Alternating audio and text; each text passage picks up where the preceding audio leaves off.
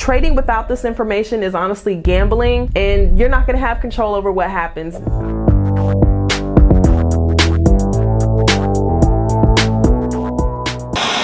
What's up YouTube? This is Foxtail Digital coming to you again with Black Girl Stocks. In this video, you're gonna learn how to use the triple screen trading method to find profitable trades within an established trend. So the triple screen trading strategy is based on Alexander Elder's theory that no single indicator can always provide reliable signals. He recommends using multiple chart time frames and indicators to find trading opportunities. And with that, you're gonna be entering your trade in the right direction at the right time. And this method applies to stocks, options, futures, forex, crypto, anything that uses a chart. And trades that pass the triple screen test are more likely to succeed. But first, if this is your first time watching this video, please make sure that you click that thumbs up button. It really helps the channel. Also subscribe and click that notification bell so that you get notified anytime I upload a new video for you guys. Understanding the triple screen trading method. The triple screen trading method uses three different different screens to analyze the market and a mixture of different indicators to find short-term pullbacks that are about to end within a long-term trend. A lot of trades that look like winners might get rejected by a different screen, so it's important to know all three of them. Now, the first screen uses trend following indicators on a long-term chart, and that's gonna help us identify the overall trend in the market at that time. The second screen uses oscillators on an intermediate or medium term chart. And that's going to help us find potential trading opportunities within that overall trend. The third screen is on the shortest time frame chart. And that's going to help us find our entry and our exit points to the T. What are the trend following indicators and oscillators? The trend following indicators are indicators that are going to help identify market trends and they're going to give buy and sell signals in the direction of that trend. These indicators analyze past price movements and identify patterns that may suggest the continuation or reversal of a trend. One of the most basic trend following indicators is the moving average. A moving average line is going to be plotted on the price chart and you know you'll be able to use the direction of that line to determine the direction of the trend. You can say the direction or the slope. So you can have a 50 day or a 200 day period moving average. Other common examples of trend following indicators are the exponential moving averages or the EMA lines, the ADX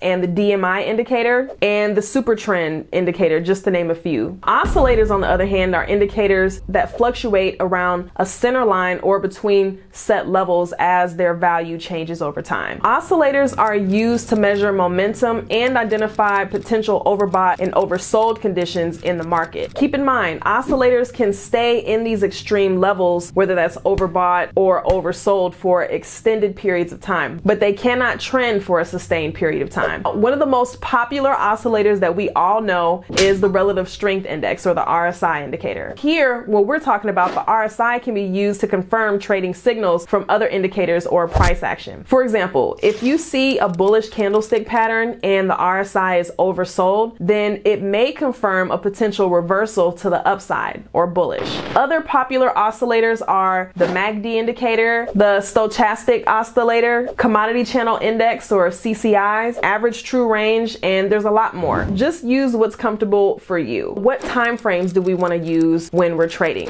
Before you even analyze a stock with this method, you have to decide which time frames that you want to trade with. In the book, Alexander Elder emphasizes that time frames should be chosen based on your trading goals, your trading style, and your experience level. There's so many different time frames to trade, and all of them have their benefits. With the triple screen trading method, remember factors of five. Now, the time frames that we're gonna use are gonna change by factors of five. So if we're looking at a daily chart, then the next factor down for the shorter term trend is gonna be on the four hour chart. You see, five times the four hour is 20. Well, but the closest that we have is the daily chart, that's 24 hours. Now, the long term trend is gonna be the weekly chart or five days of price action. Do you kind of see how to calculate it? It's very important to start this process by by asking yourself, what's your favorite time frame to trade? For me, if I'm day trading, my favorite is the five minute chart. And if I'm swing trading, it's either going to be the one hour or the four hour chart. When you do choose your favorite time frame, use that as the intermediate trend. Okay, so that's the middle. Favorite is going to be the middle. Then you can find your short and your long term time frames increasing or decreasing by increments of five. People have asked me, why did I make a deck of candlestick review cards instead of writing a book? Well, take a look at these. Okay, these are some of the books that have influenced my thinking about these cards. And this doesn't even include audio and ebooks. Okay, so there's a lot of good information and knowledge in these books. And guess where it all ended up? Right here in these cards. It took me years to read and interpret these books. It took me months to design these cards, but it'll only take you five or six minutes to pick up one of these cards and soak up the knowledge. So get your Black Girl Stocks Candlestick Review cards and learn how to make money from candlestick charts today. For example, if you like to swing trade, you may do your trading on the 4-hour time frame. You can use a daily time frame to get a better picture of the market, so that's going to be your further time frame. And then you can use the 1-hour time frame for picking your precise entry points. That's your your closer one, your third screen. Now, day traders who are only going to be in positions for, you know, usually less than an hour, you can use the same principle. For day traders, a 5-minute chart might be your preferred intermediate time frame, and then you can have a 25 minute chart for the longer time frame and a one minute chart for the shorter time. Alexander Elder compares trends on a chart to water in the ocean. Now, you want to trade in the direction of the tide, take advantage of the waves, and ignore the ripples. The long term trend is the tide, the intermediate middle trend is going to be the wave, and the short term trend are the ripples. Just keeping that in mind, let's get into the meat and potatoes of this method. Let's start with the first screen,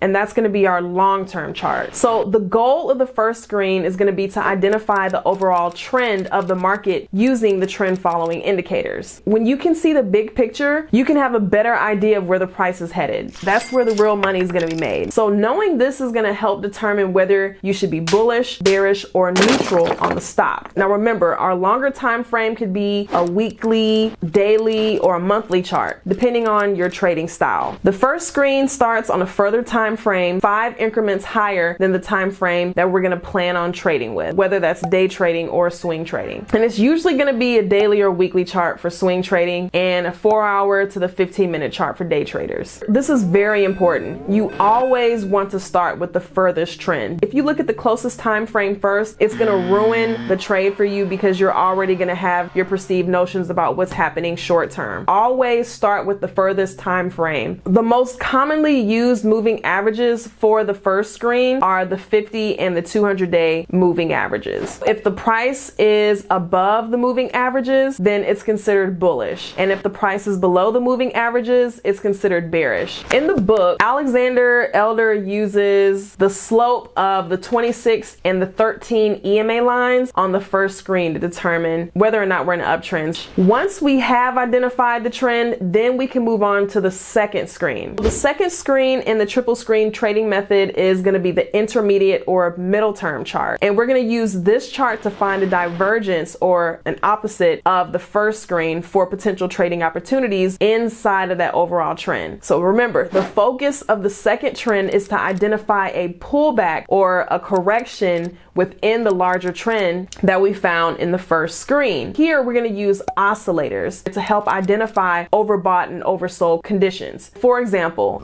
we're looking at XOM and here you can see this larger time frame up here. This is this is on the daily chart. Looking at the daily chart, we can see that we've been in an uptrend, trading above our 200 period moving average. I'm going to move to the intermediate trend, which is the four hour chart. And the best entry would be in an area where the RSI has passed below that oversold zone around 30 and crossed back up. So this may be a good entry for this bullish continuation. And don't look over here yeah, we'll go over the third trend in a little bit. And even just looking at the volume profile indicator, we didn't talk about that, but we can see that we had a lot of volume here around 115 and it did drop, but we could see a move back up towards this 115. So we'll see what happens next week. I actually have that on my watch list for next week in the trading group to scoop it all up using the third screen. The third screen is the shortest, closest time frame. Usually that's going to be 15 minutes, 5 and 1 minute charts. So we're going to use this to identify the best entry and exit points in the direction of that long-term trend. The first screen, look for the direction of the trend. The second screen, look for opposite of the direction of that first screen. And on the third screen, we want to look in the direction of the trend again. For this third screen, you want to look for low and high points that form support and resistance levels. And then once you found those, you want to look for short-term breakouts in the direction of the trend. We can place our entry signal, you know, very close, probably one tick above the previous hour's high. And if the market keeps moving in that uptrend and it crosses above and breaks out, then we'll be good and long in the market and ready for profits.